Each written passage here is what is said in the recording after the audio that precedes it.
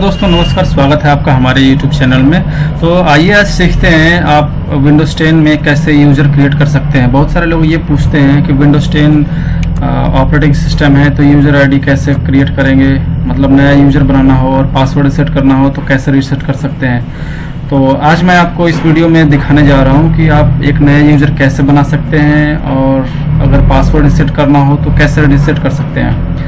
दोस्तों, आगे जाने से पहले मैं आपसे रिक्वेस्ट करूँगा प्लीज़ चैनल को सब्सक्राइब कीजिए और वीडियो अच्छी लगे तो लाइक कीजिए और दोस्तों के साथ शेयर कीजिए। तो आइए स्टार्ट करते हैं। आपको स्टार्ट बटन पे क्लिक करना होगा और यहाँ पे आप देख सकते हैं दिस पीसी है। ऐसे ही आपको इस स्टार्ट मेनू में आप जैसे ही क्लिक करेंगे तो यहाँ कहीं ना कहीं आपको दिस पीसी दिखेगा। उसके बाद यहाँ पे राइट क्लिक करना है आपको। अगर मोर ऑप्शन आ रहा है तो मोर ऑप्शन पे जाना है और मैनेज जाना है। मैनेज पे क्लिक करना है।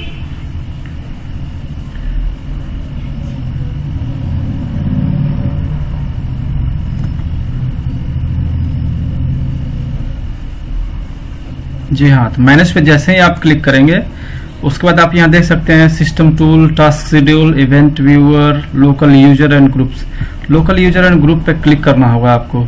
यहाँ पे क्लिक करने के बाद आपको दो ऑप्शन दिखेंगे यूज़र्स एंड ग्रुप्स तो ये हो गया आपका यूज़र जिसमें कि आप देख सकते हैं एडमिनिस्ट्रेटर है और बाकी और भी यूज़र्स हैं।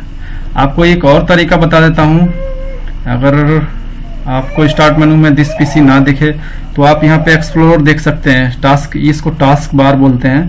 तो टास्क बार पे आपको क्लिक करना होगा और ये एक्सप्लोरर जो है यहाँ पे क्लिक करेंगे आप। इसको थोड़ा बड़ा कर लेते हैं। आप यहाँ से देख सकते हैं दिस पीसी है।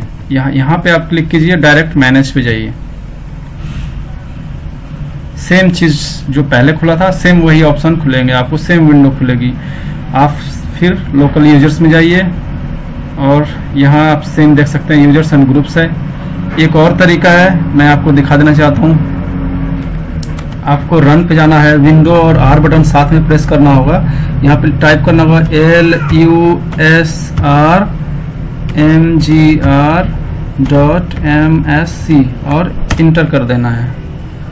सेम विंडो खुलेगी। आप यहाँ भी देख सकते हैं सेम वही विंडो खुल रही है। लेकिन ये इसमें बाकी और जो ऑप्शन थे, वो नहीं है अवेलेबल क्योंकि ये जो कमांड है केवल लोकल यूज़र एंड ग्रुप्स को मैनेज करने के लिए है।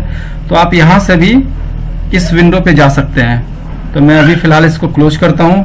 दोबारा वहीं चलते हैं सेम ऑप्शन के थ्रू डिस पीसी मैनेज इसको एक्सपेंड कर लीजिए मैक्सिमाइज कर लीजिए लोकल यूज़र्स यूज़र और यहाँ पे आपको राइट क्लिक करना होगा, नया यूज़र बनाना होगा तो। नया यूज़र बनाते हैं, जैसे टेस्ट फुल नेम देना है तो आप दे सकते हैं।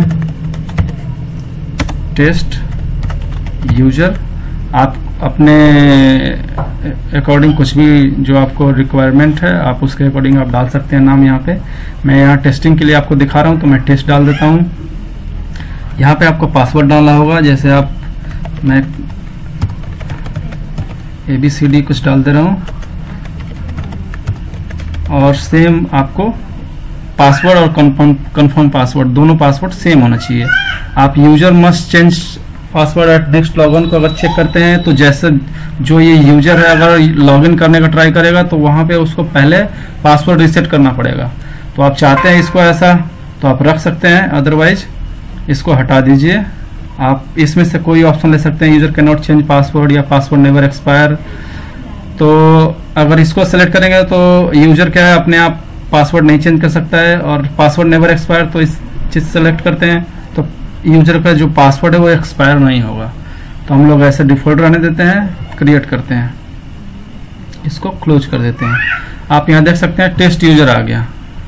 अगर दोबारा आपको जैसे पासवर्ड रिसेट करना हो गया इस यूज़र को तो सेम ये विंडो ओपन करनी है, आपको राइट क्लिक करना है सेट पासवर्ड पर क्लिक करना होगा प्रोसीड करना होगा, और यहाँ वैसे ही सेम आपको पासवर्ड डालना होगा, और पासवर्ड डाल करके आपको ओके करना होगा। आप ये देख सकते द पासवर्ड हैज़ बीन